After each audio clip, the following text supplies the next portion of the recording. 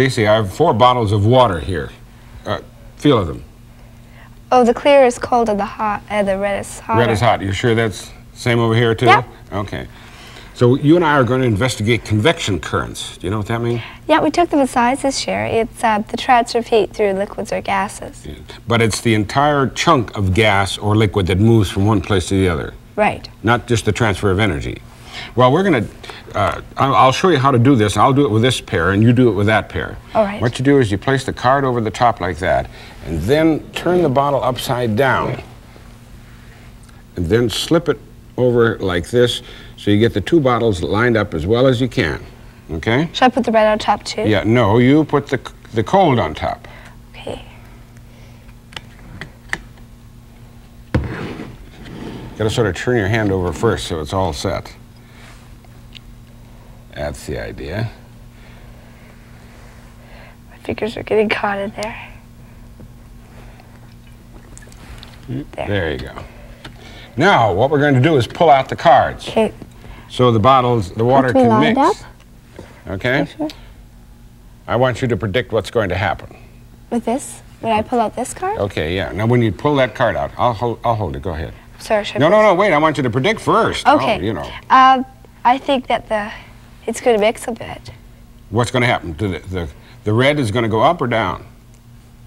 In this case, it's going to only go up, right? Right, but the cold is going to come down. Right. And in this case, with the The- hot on top? It's going to have to come down because of gravity. Oh, Or just mix a bit. okay. Let's try it. First, let's do this one. All right. Except for the leaks. It's not mixing very much.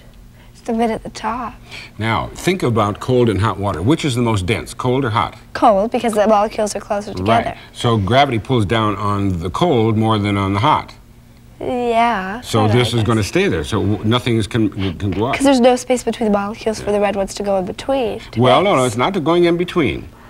The fact that there are, the molecules of the cold water are more dense, they're closer packed together, therefore they're in effect heavier and gravity pulls down on them. Okay, what So else? when, when I c- put this down, everything's going to come down. This is going to go up. Right, because gravity's going to pull down on there. Do you think you can do it? I'll try. Is it lined up? Okay.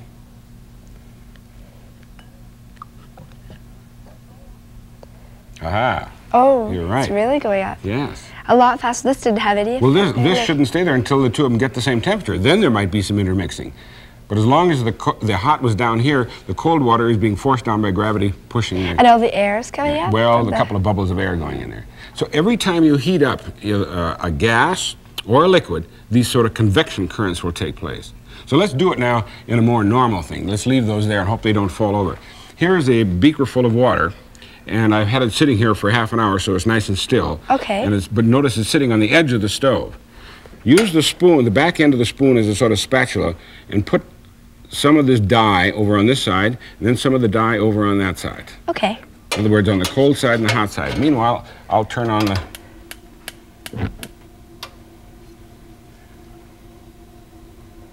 Okay, this things Okay, over there. now try it on the other side. And watch what happens now as the, wa- the water is heated on one side and remains at the same temperature on the other. Look what's happening. See the convection currents? Yeah, it's sort of swirling Sure, almost. so they're swirling because the water on this side is, is um, lighter and the water on this side is heavier, so gravity pulls it down here and makes it swirl around like that. So that takes place every time you heat a liquid or a gas unevenly, and they're called convection currents.